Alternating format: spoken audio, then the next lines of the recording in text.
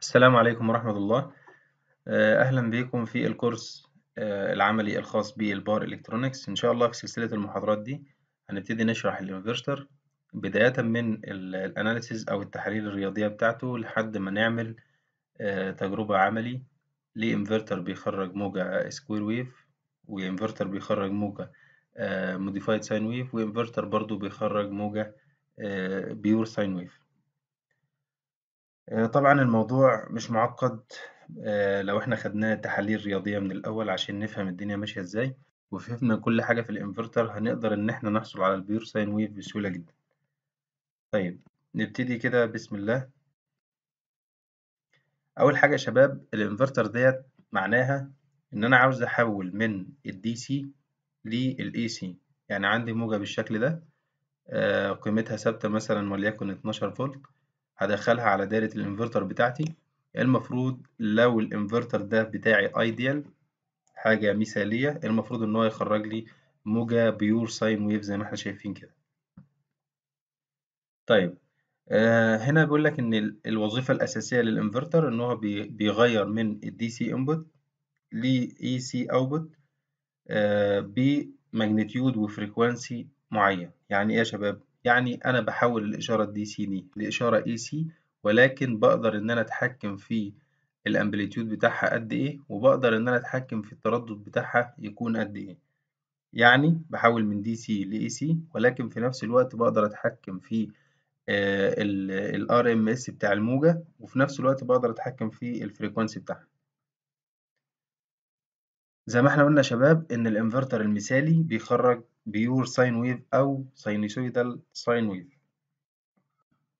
الإنفرتر اللي هو ال practical يا شباب اللي هو العملي آه ما بيخرجش آه sinusoidal sine wave ولكن بيخرج آه موجة شبيهة بال sinusoidal sine wave وعليها شوية harmonic عليها شوية noise. تمام؟ طيب.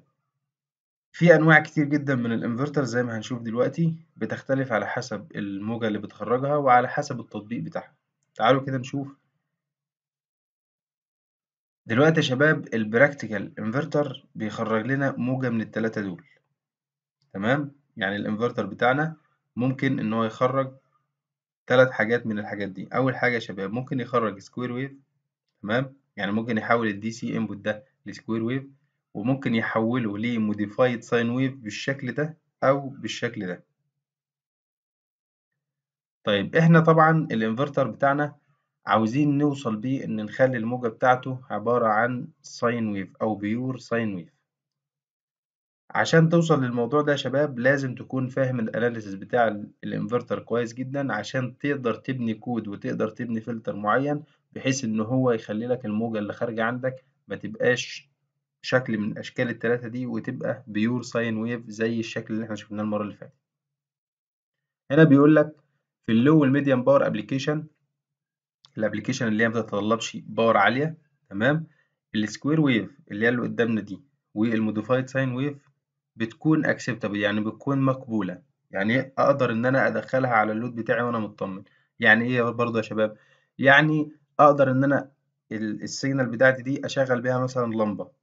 أشغل بيها آه مثلا موتور صغير مثلا تمام؟ بدون ما يحصل مشاكل. ولكن لو عندي مثلا موتور induction motor كبير 3 phase مثلا وبيسحب آه خمسة حصان مثلا وبيسحب أمبير عالي.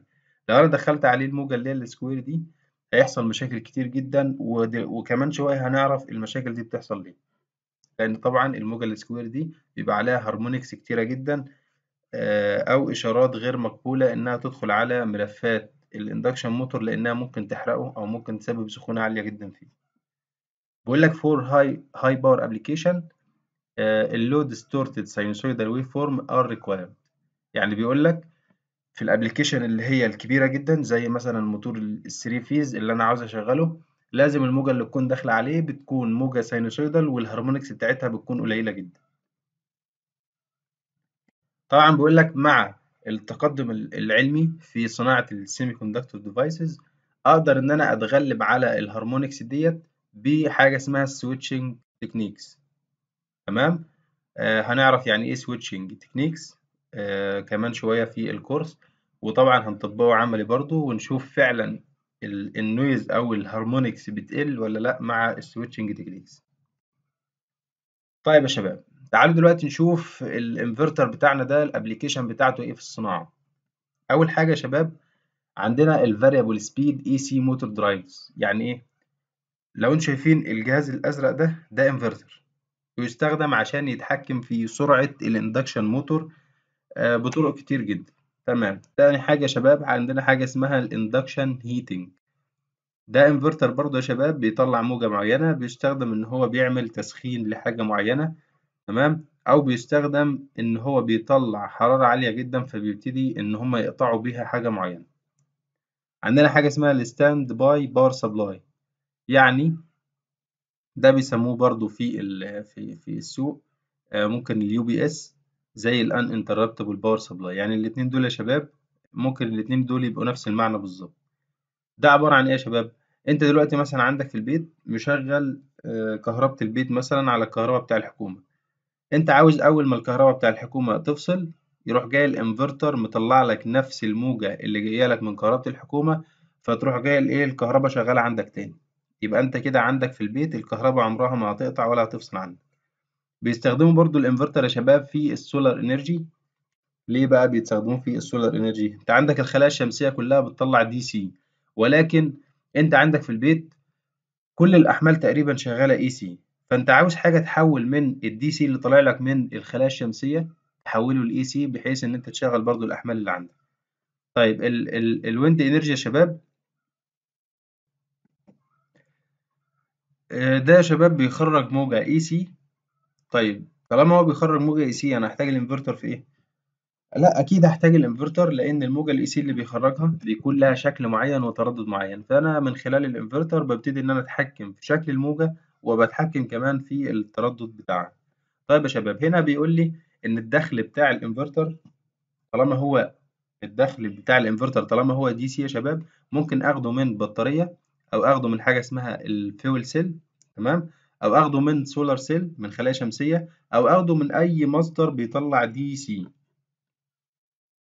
طيب يا شباب عندنا الإنفرتر بتاعنا بيتقسم لحاجتين. أول حاجة ال single phase inverter وعندنا ال three phase inverter single phase inverter ده بيستخدم مع الأحمال اللي بتشتغل ب 220 فولت مثلا عندنا هنا في مصر. أما ال three phase inverter بيخرج لي موجة 380 فولت زي اللي بتخرجها الكهرباء 3 phase بالظبط بقدر إن أنا أشغل بيها أحمال آه بتكون شغالة 3 phase زي ال induction motor طبعا. طيب قال لك النوعين الاثنين مع بعض يا شباب اللي هو ال single phase inverter وال three phase inverter بينقسموا لأربع أنواع تحتهم. حاجة اسمها ال pulse width modulation اللي هي يا شباب بقى طريقة التصنيع أو طريقة التصنيع اللي ماشي بيها الإنفرتر بتاعنا. ال pulse width modulation وعندنا ال resonant inverter وعندنا ال auxiliary commutated inverter وعندنا ال complementary commutated inverter. تمام؟ الكلام ده طبعا كلام عام. أنا بقوله في الأول بحيث انت تبقى تبقى عارف الدنيا رايحة فين وجاية منين من الإنفرتر. بعد كده هنشوف الكلام ده وهنعرف معناه إيه. طيب. أول حاجة يا شباب عاوزين نعرف المبدأ العام للإنفرتر بتاعنا ده شغال إزاي. هفترض مثلا يا شباب طبعا كلكم عارفين دايرة ال H bridge اللي كنا بنعمل بيها عكس حركة للمواتير والكلام ده. هفترض يا شباب إن عندي أربع switch ات متوصلين بالطريقة دي وعندي هنا ال load بتاعي أو الحمل بتاعي متوصل هنا في النص وعندي هنا بطارية متوصلة بره. أول حاجة يا شباب لو أنا ال switch واحد و switch اتنين قفلتهم إيه اللي هيحصل؟ لو أنا قفلت switch واحد التيار هيجي من بره من هنا كده يعدي على switch واحد وبعد كده يعدي في ال load دي وبعد كده لو أنا قفلت switch اتنين فالتيار هيعدي من اليمين للشمال ويرجع تاني لل source بتاعي. تمام؟ طيب لو أنا فتحت S واحد وفتحت S اتنين خلينا الأول لو S واحد و S اتنين مقفولين يا شباب إيه اللي حصل؟ التيار عدى من اليمين للشمال يعني عمل لي موجة موجبة زي ما أنتم شايفين كده عمل لي نص موجة موجبة لأن التيار دلوقتي مثلا هفترض إن هو ماشي في اتجاه الموجة. طيب لو أنا فتحت S واحد و S اتنين وبعد كده قفلت S تلاتة و S أربعة إيه اللي هيحصل؟ هتلاقي التيار جه كده يا شباب عدى من S تلاتة وبعد كده عدى في ال load بتاعي وبعد كده عدى في S أربعة. يبقى التيار كده مر من الشمال لليمين يعني عكس المرة الأولانية. تمام؟ يبقى دلوقتي هفترض إن الجهد بتاعي كان موجب في المرة الأولانية لما التيار مر من اليمين للشمال. المرة التانية يا شباب هفترض إن الجهد بتاعي سالب لما التيار مر من الشمال لليمين. تمام؟ هي نفسها بالظبط نفس طريقة الإيه؟ ال H bridge مرة بخلي الجهد موجب ومرة بخلي الجهد سالب.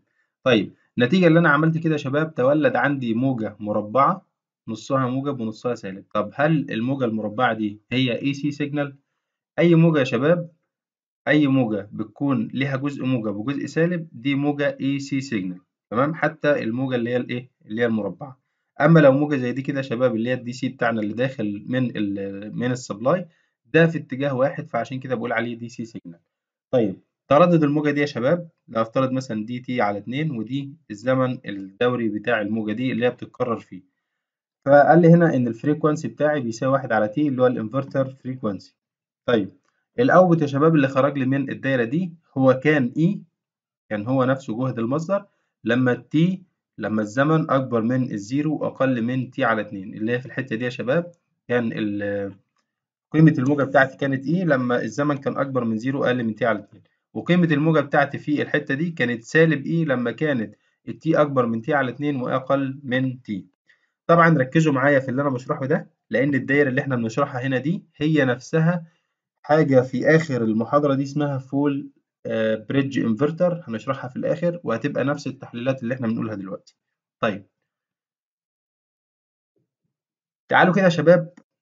جه بقى الحاج فوريه ده. قال إيه بقى يا شباب؟ قال دلوقتي أنت عندك الموجة ال square ديت بتحتوي جواها على موجات كتير جدا تمام؟ فعشان تفهم الموجة ديت جواها إيه وعشان تعرف انت عاوز منها إيه بالظبط لازم تحللها لمجموعة من الموجات. طيب لما فورير جه حلل الموجة المربعة دي يا شباب اللي هي اللي قدامنا دي وجد حاجة. أول حاجة يا شباب فورير قال إن السكوير ويف دي اود فانكشن يعني دالة odd فردية. فعشان كده ال an دي يا شباب بزيرو. زي الحاجات دي أنتوا درستوها في الرياضة. طيب وقال لك إن الموجة دي برضه symmetrical يعني الجزء الموجب قد الجزء السالب فهتلاقي إن ال a zero دي برضه ب zero. فيبقى لك يا شباب هيبقى لك إن ال V output of t آه بتساوي summation من n بتساوي واحد لحد ما لا نهاية bn آه b آه sine n omega t يعني من الآخر كده الموجة اللي هي ال square wave دي أقدر أعبر عنها بمجموعة من الموجات ال sine wave تمام؟ وهو ده اللي أنا عاوزه أصلا. يعني أنا عاوز أصلا الإنفرتر في الآخر يطلع لي موجة sine wave ولكن هنا هيقابلك مشكلة. تعالوا كده نشوف إيه المشكلة. طبعا بعد ما إيه؟ ما نحسب قيمة ال bn فورير برضو قال لك إن القانون بتاع ال bn بتاعتك ده آه تكامل من zero ل pi بيساوي آه في E في sine n omega t d omega t. لما تخلص التكامل ده يا شباب هيطلع لك إن ال bn بتساوي سالب 2 E على n pi في cosine n pi ناقص واحد. تمام؟ دي ال bn طيب لما تاخد سالب عامل مشترك من هنا ما هيطير مع السالب اللي بره يبقى دي ال bn في الآخر. طيب لو أنت عاوز تحسب بقى عندك هنا cosine n pi. عاوز تحسب ال cosine n pi ديت قيمتها كام بحيث ان انت تقدر تكمل التحليلات بتاعتك. تمام. آه لو إحنا خدنا ال n يا شباب بأعداد فردية واحد تلاتة خمسة وهكذا. لو خدنا ال n بواحد يبقى cosine pi هتلاقيه بسالب واحد. لو خدت ال n بتلاتة يبقى cosine تلاتة في pi برضه هتلاقيها بسالب واحد. يبقى أي رقم فردي فردي يا شباب هيخلي لنا ال cosine n pi بسالب واحد. طيب الأرقام اللي هي فهتلاقي في الآخر يا شباب طالما ال cosine n pi دي بسالب واحد لو أنت جيت عوضت هنا في القانون ده شلت دي وحطيت السالب واحد أو شلت دي وحطيت السالب واحد هتلاقي هنا بقت هنا واحد سالب سالب واحد تبقى اتنين اتنين في اتنين بأربعة هتلاقي إن ال bn بتاعتك بأربعة E على n pi طيب لو إحنا خدنا ال n بأعداد زوجية يا شباب هتلاقي ال cosine n pi بتاعتك بقت بواحد ليه؟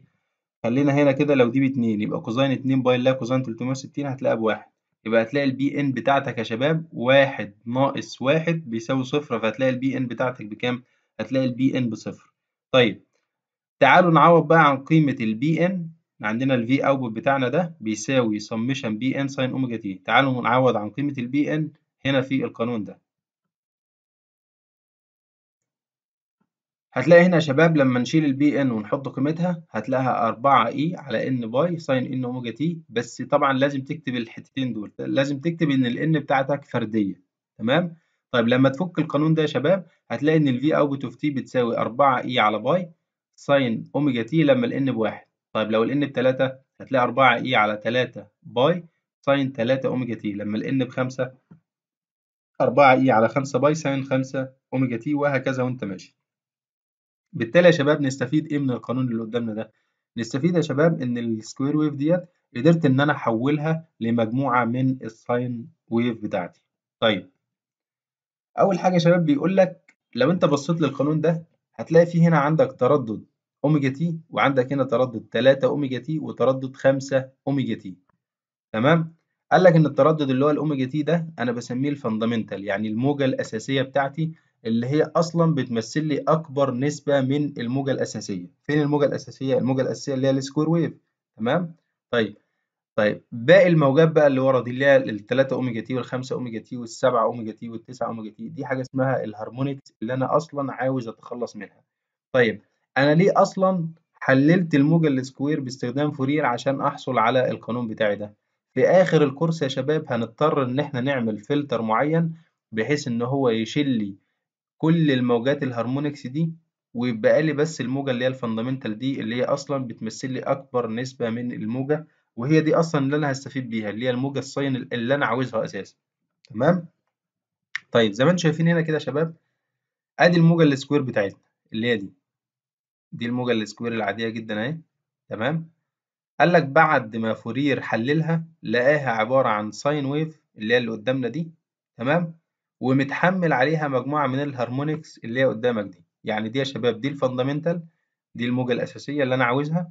ودي ال harmonics بتاعتي اللي هي خرجت من آه تحليلات الرياضيات طيب أنا عاوز إيه بقى من اللي قدامي ده؟ أنا عاوز أحصل على ال sine wave دي وفي نفس الوقت أشيل ال harmonics اللي عليها دي. تمام؟ يبقى ال square wave فورير لما حللها اتحولت للشكل ده وبعدين أنا من الشكل ده عاوز أحصل على ال sine wave وأتخلص من ال harmonics ده من الآخر كده ده محور الدراسة بتاعنا أو هو ده اللي إحنا عاوزين نعمله من خلال الكورس سواء نظري أو عملي.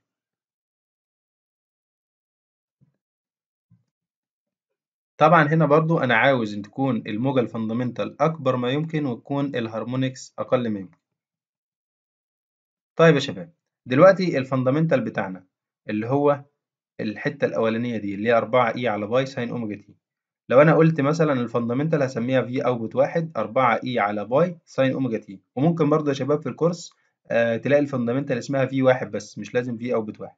تمام؟ طيب هنا ال maximum بتاع الموجة دي اللي هو كام؟ 4 E على pi.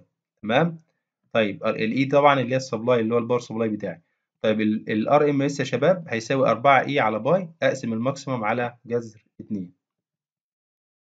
طيب الموجة بتاعتي دي يا شباب اللي هي طلعت من Fourier series أول حاجة ال harmonics شباب بيقول لك إن هي has n in denominator يعني إيه؟ يعني دايما يا شباب ال harmonics بيكون مقسومة على الرقم n في المقام اللي هو إيه؟ اللي هو الواحد الواحد دي طبعا ال fundamental اللي هي التلاتة خمسة سبعة تسعة وهكذا وأنت ماشي اللي هي التلاتة اللي تحت دي اللي كانت بتمثل لي ال n والخمسة والسبعة والتسعة وهكذا قال لك كل ما ال n اللي تحت ده يزيد كل ما ال order اللي تحت ده يزيد اللي هو ال n 3 أو 5 أو 7 المفروض إن ال harmonic بتاعتك بتقل لأن المقام دلوقتي بيزيد دي معلومة برضو مهمة جدا هنستخدمها وإحنا بنعمل فلتر. يعني الحاجات اللي إحنا بنقولها دي لازم تكون حاططها في دماغك بحيث وإحنا بنعمل فلتر في الآخر نبقى عارفين الفلتر اللي إحنا نعمله ده هل هو مثلا من ال second order ولا من ال third order ولا من إيه بالظبط. طيب أه بقول لك إن ال harmonic ديت بتبقى مفيدة في حالة واحدة بس لو أنا بعمل induc- حاجة اسمها induction heating زي الإنفرتر اللي إحنا شفناه في أول المحاضره لو أنا بعمل تسخين كده كده ال harmonics بتاعتي بت أصلا بتخلي ال load بتاعي يسخن. وأنا أصلا بعمل عملية تسخين فمش هتفرق معايا. لو ال harmonics موجودة مش هتفرق معايا. طيب زي ما قلنا يا شباب إن ال fundamental component بتساوي 4 E على pi في sine omega t ال harmonics بتاعتي يا شباب بتساوي 4 E على n pi في sine n omega t طيب تعالوا كده نشوف هل فعلا القانونين دول هم نفس القانون اللي فوق ده؟ طيب ادي ال fundamental component اللي هي دي نفس الحتة دي يا شباب. طيب ادي ال harmonics شباب. اللي هو 4 E على n pi sine n omega t. قلنا ال n ده بعدد فردي. لو ال n بتلاتة هيديني الحتة دي. لو ال n بخمسة هيديني الحتة دي. يبقى طبعا لو أنا جمعت الاثنين دول على بعض هيديني نفس القانون اللي فوق. وأنا كده لسه ما عملتش حاجة. طيب لو أنا دلوقتي يا شباب دي الموجة اللي خرجت لي من الإنفرتر بتاعي. لو أنا عايز أحسب ال total RMS بتاعها أعمل إيه؟ طبعا عندنا قانون من زمان جدا بيقول لك لو أنت عاوز تحسب ال RMS بتاع آه، أي موجة بتقول واحد على الفترة كاملة يعني واحد على اتنين pi تكامل من zero لاتنين pi آه، E تربيع أو الموجة تربيع d omega t. طيب دلوقتي يا شباب الموجة دي symmetrical يعني النص الموجب هو النص السالب فأنا ممكن أكامل من zero ل pi بس وأضرب في اتنين. طيب فلما أضرب في اتنين برة هيبقى اتنين على اتنين pi هيديني واحد على pi ويبقى التكامل من zero لإيه؟ من zero ل pi. أتمنى تكون الحتة البسيطة دي مفهومة طيب هنا بيقول لك يا شباب في حاجة اسمها ال performance parameter يعني بعد ما تصنع الانفرتر بتاعك المفروض إن في مجموعة من ال parameter بتقول لك الانفرتر اللي أنت صنعته ده مناسب أو كويس مثلا مطلع كفاءة كويسة ولا لأ. أول حاجة عندنا اسمها ال harmonic factor ال harmonic factor ديت المفروض يا شباب إن هو بيطلع لي نسبة ال harmonic آه نسبة ال harmonic من مثلا ال harmonic رقم واحد لل fundamental يعني من الآخر كده بيقول لك مثلا آه لو إحنا رحنا للقانون ده بيقول لك مثلا دي ال harmonic رقم واحد اللي هي دي. بيقول لك أنا بجيب لك نسبة ال harmonic الأولانية دي بالنسبة لل fundamental اللي عندك. يعني لو ال fundamental مثلا تسعين في المية هيقول لك مثلا ال harmonic الأولانية نسبتها آه مثلا تلاتين في المية. تمام؟ ال harmonic التانية مثلا نسبتها عشرة في المية وهكذا. تمام؟ يعني بالتالي دلوقتي يا شباب ال harmonic factor ده بيجيب نسبة ال harmonic ل harmonic واحدة بس بالنسبة لل fundamental يعني ياخد ال harmonic الأولانية يجيب نسبتها بالنسبة لل fundamental ال harmonic التانية اللي هي عن خمسة n بخمسة يجيب نسبتها بالنسبة لل fundamental يجيب نسبة ال harmonic عند n بسبعة بالنسبة لل fundamental هنا بيقول لك ال V1 هي ال RMS value of the fundamental component. ال Vn هي ال RMS value of the nth harmonic component. تمام؟ يعني تعالوا كده نرجع لل slide اللي فاتت. ال V1 اللي هي ال RMS لل harmonic لل fundamental اللي هي 4 E على pi دي ال maximum اقسمها على جذر 2 تديني ال V1 للايه لل fundamental 4 E على 3 pi. لو قسمتها على جذر 2 تديني ال RMS لل harmonic الاولاني وهكذا. طيب. هنا طبعا بيقول لك ال harmonic factor بيتحسب ل only one harmonic زي ما إحنا قلنا. ال harmonic factor must be minimum. كل ما بيقل طبعا يبقى قيمة ال harmonic اللي عندك نسبتها قليلة بالنسبة لل fundamental وهو ده اللي أنا عاوزه. طيب تاني حاجة يا شباب عندنا حاجة اسمها ال total harmonic distortion وال total harmonic distortion ده يا شباب ده بيقيس نسبة التقارب ما بين الموجة الأساسية بتاعتك الموجة اللي هي ال square wave وما بين الموجة ال fundamental اللي عندك اللي هي ال sine wave اللي إحنا عاوزين نحصل عليها. عشان كده يا شباب بيقول لك إن ال total harmonic distortion هو النسبة ما بين مجموع الجهود ال RMS لل harmonic على ال RMS بتاع ال fundamental. تمام؟ هنا طبعا في القانون ده هو هو بالظبط هنا كل الحكاية يا شباب جمع ال harmonics كلها ك RMS عشان كده خد لها السمشن وخد لها الجذر التربيعي على أساس إن هي قيمتها RMS تمام؟ طيب يا شباب. يبقى دلوقتي يا شباب هنا القيم ال harmonic دي اللي هي ال VOH إحنا قلنا إن ال harmonic بيبدأ من أول n بتساوي 3 تمام؟ يبقى أنا دلوقتي لو جول لو جيت كده عشان أحسب ال VOH ديت يا شباب وقلت هي الجذر التربيعي ل VO3 تربيع زائد VO5 تربيع زائد زائد وهكذا. طيب. تعالوا الأول نشوف أنا خدت الجذر التربيعي ليه إحنا شباب لما بنيجي نجمع قيم RMS على بعضها لما نيجي نجمع قيم RMS على بعضها المفروض إن إحنا لازم ناخد لها الجذر التربيعي ولازم أصلا هي تكون إيه؟ تكون تربيع تمام؟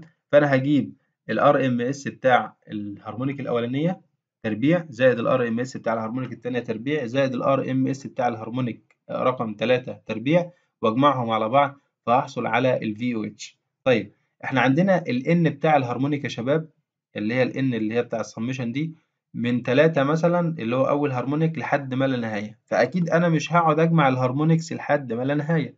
أكيد في حل تاني إن أنا إيه أوجد ال VH ديت من غير ما ما أضطر إن أنا أجمع كمية ال harmonics دي كلها. إزاي؟ أول حاجة يا شباب إحنا عندنا إن لو أنا جمعت ال fundamental زائد ال harmonic مش المفروض إن هو يديني قيمة الموجة الأساسية؟ لو أنا جمعت ال RMS لل harmonic زائد ال RMS لل fundamental المفروض إن أنا أحصل على ال RMS للموجة الكلية. تمام؟ طيب أنا فعلا لو أنا قلت إن ال harmonic بتساوي الموجة الكلية ال RMS بتاع الموجة الكلية ناقص ال RMS بتاع ال fundamental يبقى أنا كده أقدر أحصل على VOH مرة واحدة من غير ما أبتدي أجمع زي ما أنا كنت بعمل فوق. تمام؟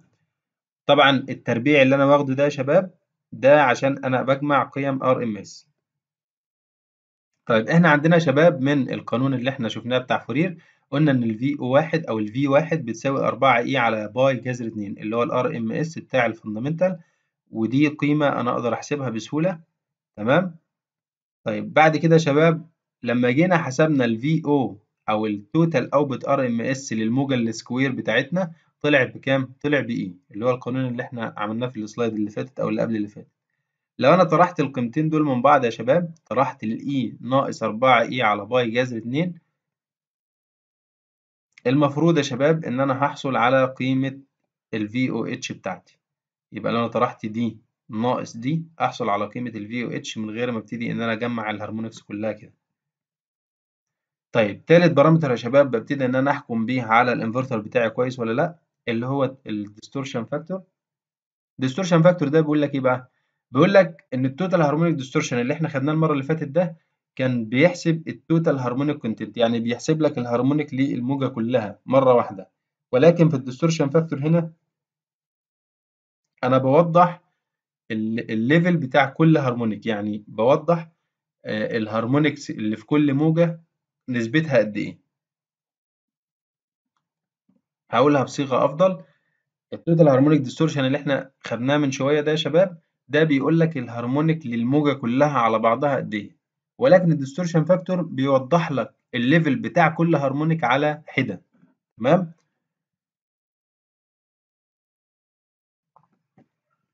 وال distortion factor يا شباب بيوضح لك كمية ال harmonic distortion اللي بتحصل على موجة لو أنا دخلتها على second order filter الكلام ده طبعا كلام جنرال جدا هنعرفه بعد كده بالتفصيل. أنا عاوزكم بس تكونوا عارفين المعلومتين اللي هم نظريتين دول.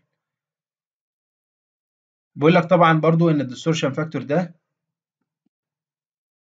بيقدر إن هو يقيس لي مدى الفاعلية في تقليل آه ال harmonic الغير مرغوبة. من غير ما أروح أضطر إن أنا أعمل تصميم ل second order filter filter أو أصمم ال component بتاعته اللي هي سواء مقاومه أو مكثف أو غيرها أو ملف. طيب القانون بتاع ال distortion factor يا شباب؟ هو نفس القانون بالظبط بتاع ال total harmonic distortion ولكن هنا بيقسم على n تربيع. ليه بقى؟ بيقسم على n تربيع لأنه هنا بيستخدم second order filter فعشان كده بيقسم كل موجة على n تربيع. تمام؟ يعني هيجيب مثلا ال VO3 اللي هي ال harmonic رقم واحد يقسمها على الايه؟ على 3 تربيع زائد ال VO5 على 5 تربيع زائد وهكذا. يجمع كل ال harmonics دي على بعضها وياخد لها الجذر وبعد كده يقسمها على ال fundamental يحصل على ال distortion factor بتاعها.